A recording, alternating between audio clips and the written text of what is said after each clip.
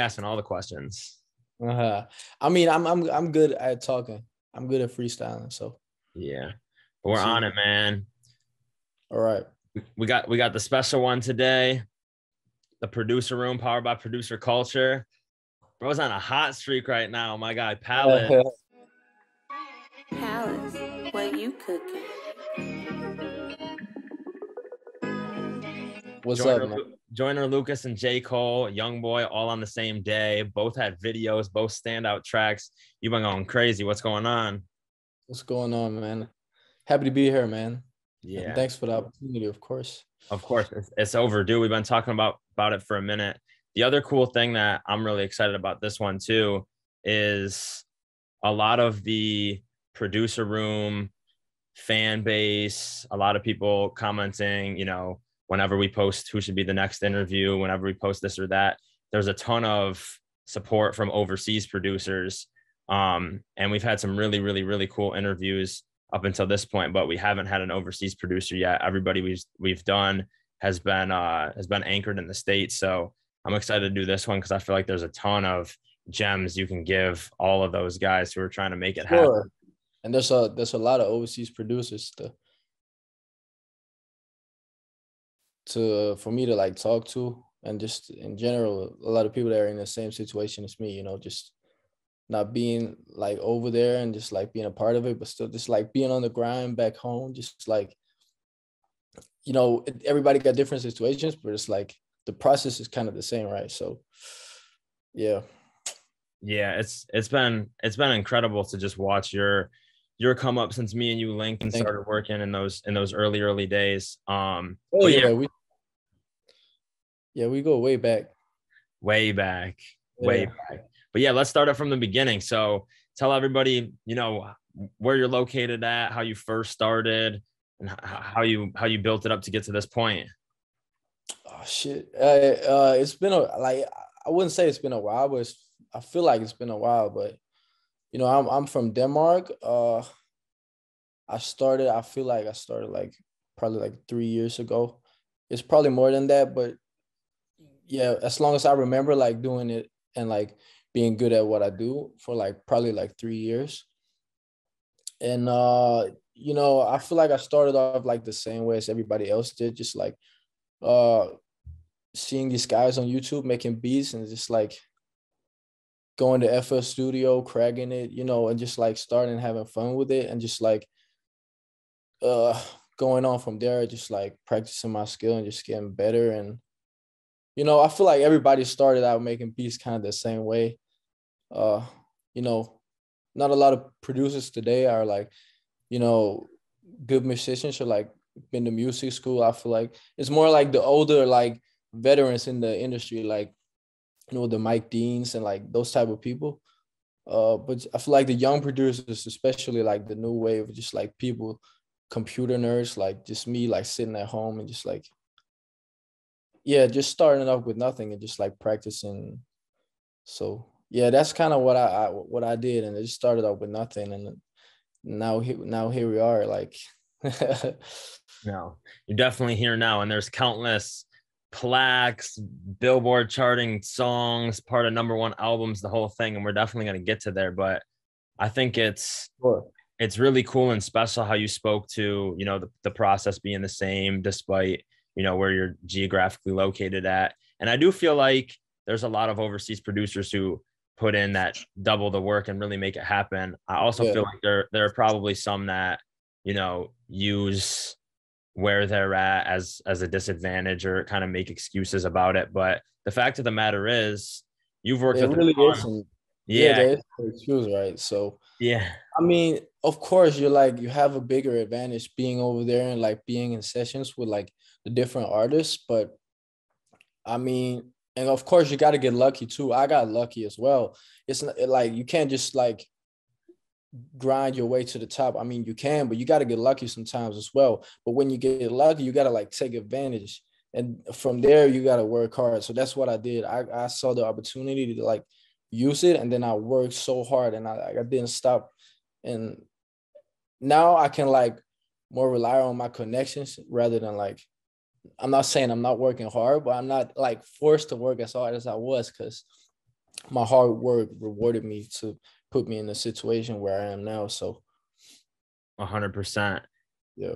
Just just speaking on that, you've been able to build some some incredible connections and been a part of some really really really huge songs, albums, moments over the past year or two.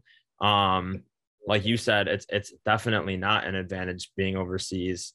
You know, you know, you even kind of hinted at like being in the yeah. state might be a little easier because you can be in sessions with this producer, that artist. But the fact of the matter is, you've actually never been in a session with any you know any producer artist that you have a placement with so you're living proof that you can you can really make it happen without it yeah and there's a lot of other people like oc musique as well like mm-hmm.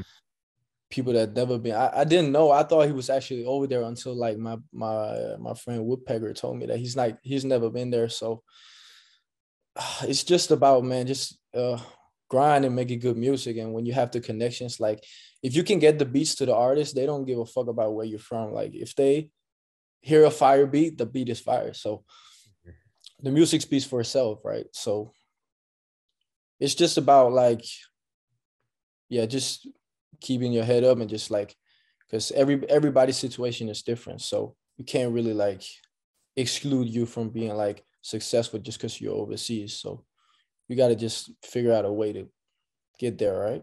Right and i i think I, I couldn't agree with you more. The music is definitely what speaks for itself.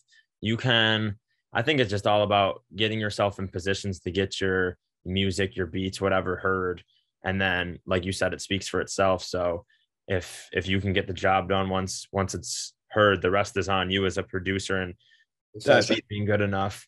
Uh yeah. you know if if this producer's in the studio with that artist and he still likes this beat better from the beat on youtube or whatever. Yeah he don't he don't give a fuck. Like he's gonna go he's just gonna take that beat right? So I've I've been in studios with like Danish artists as well, like way back. But they did they used to do that as well. Like the, while I was in a session, they had this crazy beat on YouTube. They'd just go on YouTube and tell me, "Can you get this beat?" And I was like, "Well, all right." But so they don't really care. Like if they have a fire beat, they don't care who it is because they don't really know. To be honest, like only the like real in tune like artists, I feel like they know the producers. But a lot of like uh, artists don't really know like who the producers are and like the, the people that produce their tracks like so yeah a lot of the times a lot of the times i think that's ultimately true uh yeah. but yeah stay, staying kind of in that realm speaking to youtube um that's that's really where it kind of started off for you right like you started yeah, was, yeah. on youtube um, started everything yeah, sp- speak to that a little bit. Just like those early YouTube days when you were just uploading on YouTube. Do you even remember who the first person that was that used a beat of yours that just ripped it right off of YouTube and then it ended up being your first song? I mean, the crazy thing is like so many songs uh that I have out is because of YouTube. And it's literally like almost every song and both Pop Smoke songs are actually from YouTube, and that's what people I, people feel like. Okay, I, he had two songs on Pop Smoke album. He must have like been close with Pop Smoke. Like, I didn't I didn't know I had two songs with him until after he died. So I didn't know shit, right? So I, I just remember sending the one of the beats, like uh, the stems to AP, and like the Enjoy Yourself track. He got that from YouTube. So like really any any type of artist and any kind of, kind of like size really i feel like most of them are on youtube actually. So everything started on youtube and just like one beat blew up and then from there i just like started grinding right? So since then all my songs really been from youtube. So i just been so persistent and like staying true to it because it, it brought me so much.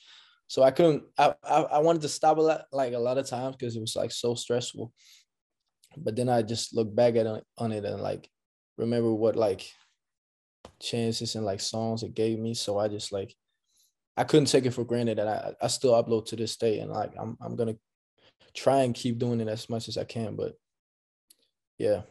Yeah. What are your thoughts on that? Because I hear all the time as soon as somebody has a really big song or a big moment or they lock in with an artist or whatever, they shy away from YouTube and kind of stop doing the YouTube thing. Yeah, I mean, people are like a lot about you gotta remain exclusive and just mm-hmm. like yeah they always uh, say that but that that's that's just so dumb because it's like uh I, I don't really know what to say, but it's just like if if a, again if an artist here a fire beat, he's not gonna be like, oh, it's this guy on YouTube, then I'm not gonna use his beat.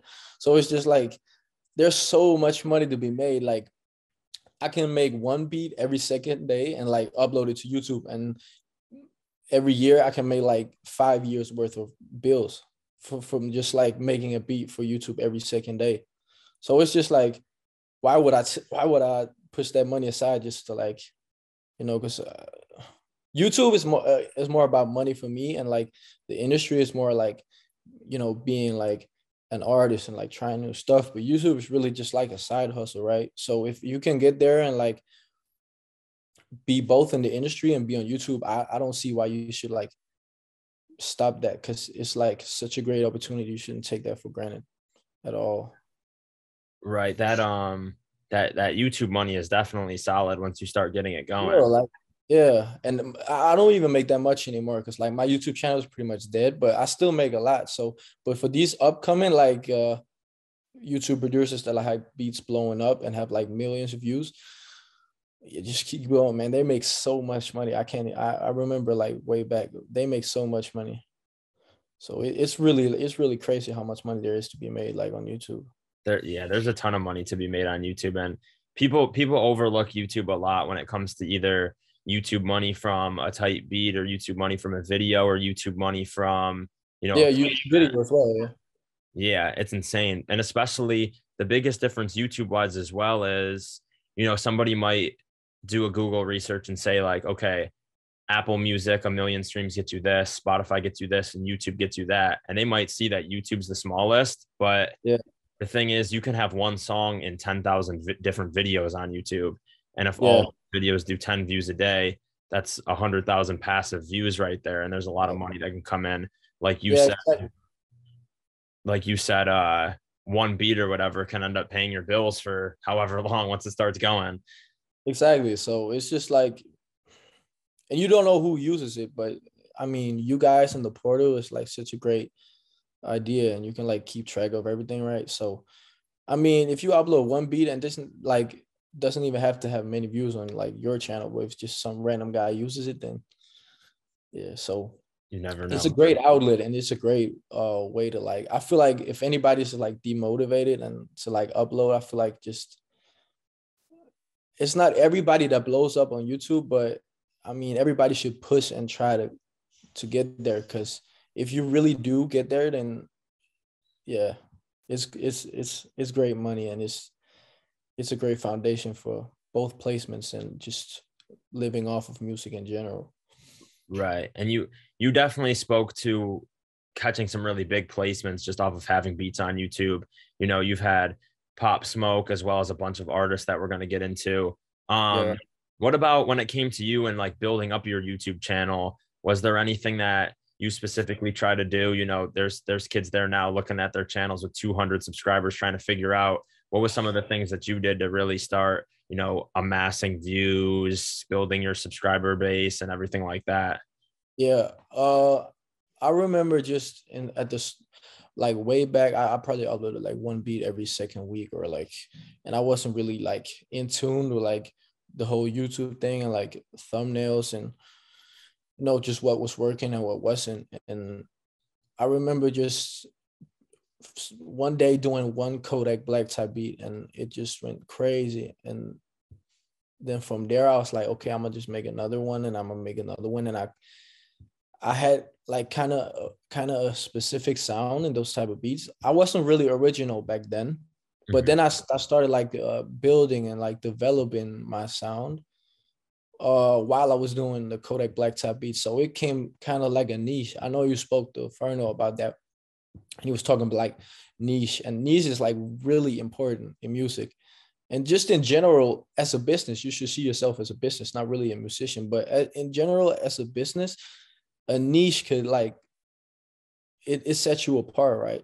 So that's what you you want to do on YouTube because it's basically a business you shouldn't really see yourself as a musician on YouTube. Like you should, but you're selling a product, right?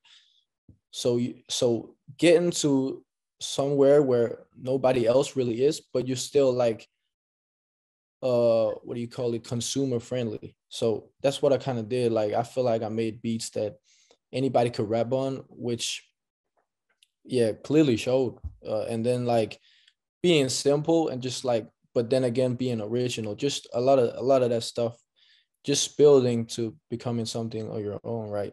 Because a lot of producers do too much most of the time, like too complex, and they forget that a rapper actually has to rap on the beat. So just like this beat is so dope, there's but there's so much going on. A rapper can't really rap there, right? So building something original and just not trying to like stick out too much, but then again, try to stick out just a little bit. A hundred percent. I think that that's a super, super important thing that you mentioned as well, which is like sometimes people do have these crazy beats, but you, you lose track of can a rapper actually rap on this or not? If they can't, you know, it might be better to put that in like a beat competition or something. Yeah, exactly. That's what happened a lot of times uh, with loop makers as well. I begin some loops in my mail where I'm like, okay, it's dope, but I can never hear a rapper on this ever, like unless it's like some, yeah, I can't even tell, but just like you know, so I feel like that's what uh kind of set me apart, and just like other big people on YouTube is that they found out it's really not about what sounds the coolest or what's most impressive. It's it's about what sells the most because it's a product, right? You're you're running a business, so that's what I figured, and it helped me a lot. Insane, yeah. There's been a lot of really really cool moments early on. You know, it seems like your success on YouTube from your own channel, you know, translated into placements pretty quickly. I'm sure it was a longer grind for you, but you know, for me and you know other producers uh outside of yourself looking at it from the outside in, um it definitely looked like you were moving on YouTube and then it became placements pretty quickly. Um it was it was yeah. Yeah, some of those early ones, you know, a lot of the early JI stuff, you know you actually produced which was part of him you know really really breaking and and rising back in in mid late 2019 yeah. um, what was it like kind of working with him like those replacements that came right off of youtube yeah it was and like he was so cool i remember it was like when he had like 100,000 followers and he hit me up and I was like, who's this guy? And he made it like, he made like, I made, I sampled like Hate It or Love It. Mm-hmm. And I mm-hmm. did a YouTube beat, did like a remix with that. And I was like, okay, that's cool. But then he, then he uh, did like this song called uh, Own Shit and Company Part Two. And that was when he really blew up. Uh, then I've, I've, I've kept in touch with him, but yeah, he kind of went Hollywood on me a little bit. uh, but I mean, he's, he's a cool guy and just, that was that was when it really started. Yeah. Like, yeah, shout out, shout out Ji, shout out the G. Yeah, he's cool. He's cool, man. I, am just fucking with him. He didn't win Hollywood with me, but but uh, but uh, I mean, of course, he he became very successful, and so he can't really keep in touch with anyone. That's uh, and anyway, everybody. So that's yeah, that's understandable. But yeah, we still in touch every once in a while. And I think it's important for you to uh to even hear, you know, someone like Palaze speak to that because I feel like there's definitely a lot of producers who, you know, build with an artist for a couple of months or a moment in time. And then when the artist gets big, they kind of lose touch. Yeah, uh, yeah. it is what it is. And it's natural, of course. Life goes on, right? So yeah. And it's still hard feelings. He's not like talking shit about me. I couldn't imagine that. He's just like he moved on and he went like so it's natural. It's, yeah, life, right? So it's just it's just part of the natural progression, and everyone should just take it as motivation to start building with the with the next guy. Um, you know, because you never know what might happen. Right after, exactly. right after that JI stuff, um, the NLE Choppa placement you and Cookup had together. Shout out my man Cookup too. Cookup's been yeah, going crazy lately. Yeah, he's the goat. He, yeah. he, he doesn't he never sends me shit anymore, but whenever he does, Cookup, what's going on? All right, shit. Yeah, come on, man. He's slagging. I don't know what he's doing. Yeah, Cookup. We gotta get back to it. No, Cookup's been going crazy though. He's been having uh, a lot of really he's had, big. He's had a great year. He's had a great year too. Cookup's had a really great year. That um, I think people overlook how huge the having the no cap placement was when he first got home. That was crazy. It was top five trending on YouTube for weeks and weeks. Um, yeah. but yeah, you and Cookup had a had a really you know big placement with with Choppa um, you know, in those early days as well. Um, yep. I know there's kind of like a crazy story to to the exotic song. How did, how did that all come about? Yeah, it was just like uh actually on on YouTube it was a Swae Lee type beat and uh-huh. it was called Exotic the the beat on YouTube. And I just I just remember that it, it's one of the craziest beats I ever made. And I like I still talk to Cook up about like to this day about like I random pop up in his DM and like uh, shoot him a, a, lyric from Exotic, and he's like he answered like when a lyric, which is like, but it's just like that beat is so special. And just like I remember seeing the snippet and I was like so hyped, but then all of a sudden like the video got leaked and and the song dropped like out of the blue, and yeah, that was why like my my first really big song because I know it wasn't like a gold single or like, but it still did pretty well at the time for you know. So yeah, that's that's one I'm proud of for sure. Yeah. No, it was crazy. Um, but yeah, and then you know, 2020, the world shuts down, coronavirus happens. Um, yeah. and that's that's when you really started to get into it. Uh you you spoke a bit earlier about you know using YouTube and that being kind of how a lot of those pop smoke placements happened. Um, but what was just that process like being on you know, such a legendary Pop Smoke album and having For the Night, which was yeah, urban radio number one. Um, you know, being with. Lil Baby and DaBaby on there. Um, you know, working alongside AP and some other guys. You know, what what was that whole like, whole process like? It all happened so fast, right? So I just remember we was on lockdown and I was with my with my ex girlfriend and we was just like I was sitting in my apartment and I wasn't like back then. I only had the NLE Choppa song, mm-hmm. so yeah, I was kind of like new to this, and I saw that this guy. I I didn't really know about his music that well actually before he died. Pop Smoke, I had heard some songs, but I just saw he died, and like he was, everybody was going crazy, and I was like, yo, that's crazy, because like I heard went and heard hear his, heard his music, and it was like he was really talented.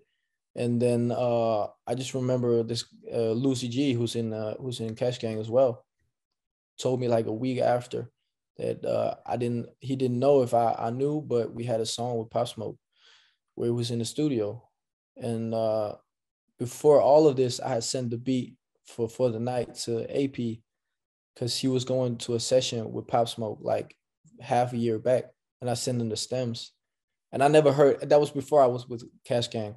Mm-hmm. Just uh, and I I didn't hear anything from him like until half a year later, like after he died, and he told me, "You remember that beat you sent me like half a year ago? We got Lil Baby and DaBaby on it." And I was like, "Okay." And that was that was when I was really like, "Okay, shit."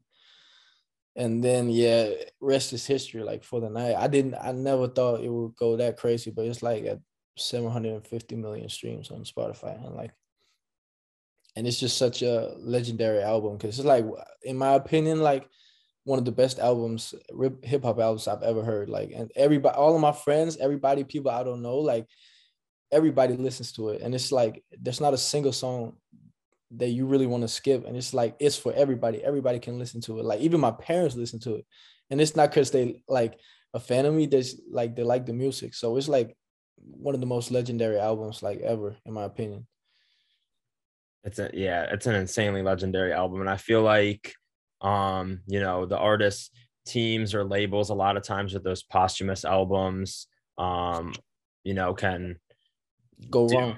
Yeah, they can go wrong a lot of the time. Yeah, yeah. That that was really, it's, really yeah, it's a perfect album in my opinion. It's it's yeah, it's perfect. Yeah, really, they, they killed it on that. Um, yeah.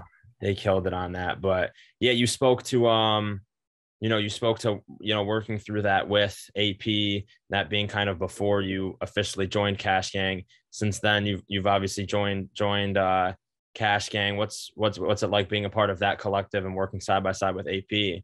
It's great, man. AP is such a great guy, and I know he get he gets a lot of shit from some unfortunate situations, but he's like he's the most genuine dude in the industry. Like, and there's not really much to say. He's just like he's so genuine. He does everything that whenever you ask him something, I know he's got a lot of producers like signed to him and he must like have a lot between, you know, his hands, but he never like seems like irritated when I ask him anything, or like he's always there to help, and he's just like he's so genuine. And he's like he he he does everything for you and try to get the best deals, and just like yeah, and yeah, he he he he does everything for you. Really, he's he's such a great guy, and he's done a lot for me since I got there. So, hundred percent. And I also think too, you know, AP somebody who's been through a lot of a lot of the things that a lot of you know yourself or different up and coming producers have when yeah, it comes to overseas as well. overseas as well. Early success on youtube that youtube success transferring over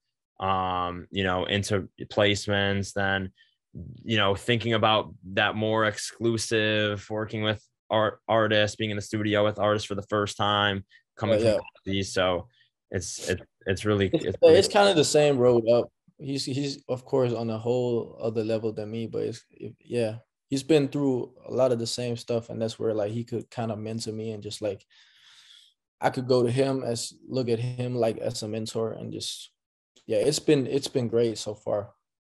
Insane. Yeah, it's definitely insane to watch watch how far he, you, and that the whole collective has gone. Um, you know, even spoke to you know, Lustig and some of the stuff that they that he's had. You know, he was obviously on the project Enjoy Yourself too. So the whole squad's winning winning big. Um, you know, everyone's going up. Uh, you you had the Pop Smoke stuff, and and that obviously came out um in the summer of 2020. But you definitely get, didn't stop getting to work there. Um, as the year progresses, you're on the the Young Boy Top album, which actually just went platinum. What was what was what was that like to to go platinum on on Young Boy Top? What was that feeling like going platinum? Uh, I mean that was crazy because I remember just uh getting the song with Young Boy because Young Boy is like one of my favorite artists like of all time. So I just remember like the first time I I got the placement, I was like so hyped, and just yeah, he's like he's one of my favorite artists of all time. So like I'm really speechless at speechless at uh, at that point. So yeah, being on a platinum album with him and just like yeah, I don't really know what to say. Just I'm just grateful for that. It was crazy. Yeah, yeah. it was insane for sure. You obviously also just appeared on Sincerely Kentrell, number one yeah. on Apple Music. Project just went number one in a in a really yeah, close race. Yeah. yeah, in a really close race to CLB. Um, I know you worked with Cheese on that. Was yep. uh, was there any carryover between you know working on top and then working on that, or were they two separate, isolated uh, placements? Nah, I mean, yeah, there were two separate, isolated placements, but they're all because of you know Jason off road, the mm-hmm. engineer. So shout out to him. Shout out uh, Jason. He's the, one, yeah, he's the one that plays the beats. Uh, but um, yeah, and shout out to him for for keep trust trusting me and just like having me send beats because uh yeah, he's the one that got me the first placement, right? So, but now the process was the same, and I mean this this album is kind of different because like you know he was in jail, and uh and uh, we made history because he was like uh one of three right to ever uh, go number one behind bars, mm-hmm. if I remember correctly. So that's uh that's a pretty big uh yeah that's that's history right there. But I mean that album is crazy too, and just like I love Young Boy and you know, there's a lot of good songs on there. So yeah, that album is crazy. The production on there is insane. You know, you, Jimmy, uh obviously killed that one that you guys were on together. So many so many on there that yeah there's so many guys. I'm gonna miss i'm gonna miss people if we start yeah yeah i don't want to say anybody because i'm i'm gonna miss somebody too so. Yeah. But, yeah but everybody so on there. Everybody killed it. You guys went crazy. Uh yeah, jason brought in tnt to be a part of the process for a bunch of the songs. Yeah. TNT killed it as well as this he is, is the guys. Yeah. yeah. TNT's going too crazy. He's an he's another one of those guys who just watching from the early tight beat days to now is is insane. Um but yeah, you know like he's, he's he's like uh, mad underrated too. But I feel like the that's probably because he has like more songs than one big song. So yep. that's probably like people sleep on him. But he's like, how many songs did he have on the album? Like, yeah, I know. And that's the other thing too. He keeps having these moments where he's on these albums, but he's not posting like so and so produced by me. He's posting like I did tracks, boom, boom, boom, boom, boom. Yeah, yeah, yeah, yeah. Yeah. Yeah, he's fucked up. He's going crazy. He's going. Yeah. He's going too crazy. Um, But you know, in the same way, Young Boy drops, Sincerely Kentrell, you make an appearance on there. The same day, you end up with one of the craziest oh, placements of all time. I forgot about, I about it. Yeah, Joyner Lucas and J. Cole. What was it like? Yeah. You know, how, how did it initially start? So it starts as just a Joyner Lucas placement, correct? Yeah. So again, from YouTube. From uh, YouTube. It's a beat with me and LC and and Hagen. And yeah, me and LC have a lot of crazy beats on YouTube. So that beat that beat was like a beat with like a million views on YouTube. And I just uh remember that uh Joyner's uh, manager hit me up and told me they wanted to buy the beat. And uh and he was like so protective with saying what because he was like this track is going to be like his biggest track and this track is going to be so crazy. And i was like can you like tell me just a little bit about who it is? And he was like i can't really jinx it man. We got to wait till and it, it, was like four months. And then when they got the verse from him they told he told me it was Cole. And i was like i've never really been in shock over a placement but like when i heard Cole when i saw Cole i was like i was like yeah I didn't know what to say. I almost cried, low key. I almost cried. Yeah, so insane. I feel like getting one with Cole at this point is so tough too, because he's been so locked in with the same guys for forever. He's dropping yeah. music. It's so. almost a. I mean, of course, it's a feature. It's not really a Cole song, but just that's really the only chance you got from getting, unless you're like Jetson Made, right? Because right. he got one, but that's really the only chance you got because you're not really gonna get a J Cole song J. Cole, right? So yeah, I got so damn lucky. Insane. Sure, I did. But it was destined. It was destined. Yeah, but that's that's the that's the matter of it too. You you spoke earlier. Ferno spoke to it too. Like you know, when you have these moments and you just keep working super hard to you know capitalize on the momentum you have, you know that that's when you get quote unquote lucky. You know what I mean? Exactly. Yeah.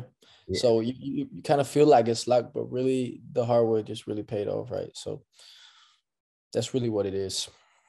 Yeah, couldn't agree with that more. Um, you know, really, really cool that you did that with some of the loop makers that you've been working with since the beginning. Shout out LC, shout out Hagen. Both of them have had an insane so last two years.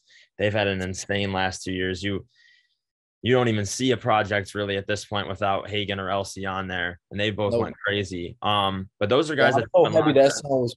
I'm so happy that song was with uh, LC because we just yeah. had so many beats over the years on YouTube blowing up, and we like, I feel like we kind of deserved the placement. So that that was like the perfect eh, story, right? So yeah, I definitely yeah. agree. What was um when you first you you locked in with them early, and you guys have just stayed locked in, like what are some of the We've of the been for like two years, yeah, me and LC. Yeah. I know Ferno talked about it too, but it's like sending a big mail to a bunch of producers that you've never been in touch with. That's kind of the same thing for me. You might be so fired, but if I don't recognize your name on my mail, I'm probably not gonna open it. And this is that's just how it is because I got my workflow, I got the people I work with, and it's gotten me so far to where I am now. So I'm I'm gonna keep working with the same people, right?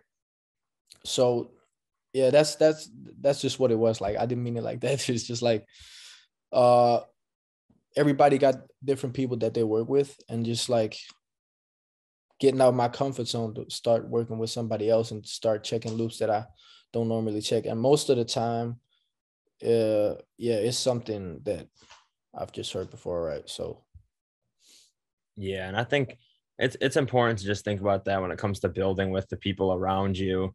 Um a lot of people want to you know just jump and start sending stuff to, to the biggest producer but you know there was yeah. a point in time i'm sure when you and LC were working where neither one of you really had anything going on you know what i mean yeah. um, for sure i mean I, I, I'm I'm I'm not the type of say that I'm a big producer. I, I I I could never call myself like one of the biggest producers, but if somebody sees me as that, then uh yeah, that's probably not the way uh to just start sending uh I know it's probably hard to get in contact with me, but I try to like answer every DM. Honestly, I answer so many people. So yeah, try to hit me up instead of just sending me mails. Honestly. Yeah, because it, it sounds like you're definitely working with people who you have some sort of like, you know, friendship, working relationship with. Yeah, I'm like a very, I'm like a very, uh, friendly person. I like to like learn, uh, like get to learn people and just like other than music, just like get in touch with them, right? So, uh, and I'm like I'm not like arrogant. I don't like if you don't have a, a ten thousand followers, I'm not gonna work with you. That's not me at all. So, you know, I'm I'm open for anything as long as somebody's fired and I'm gonna work with them, right? So, and I've done that uh, with a lot of people. You can just ask like a lot of people. I've done that. So, it's more about just not trying to gamble and just send a million mails out instead of like trying to hit me up. And I feel like it's not just me, a bunch of other producers gonna like feel like that's a better way to go. Yeah, that's definitely some really, really good advice to the up and coming, you know, loop makers or even just producers who are looking to collaborate with people who, you know, have yeah. a bit of a following and, and are accomplished.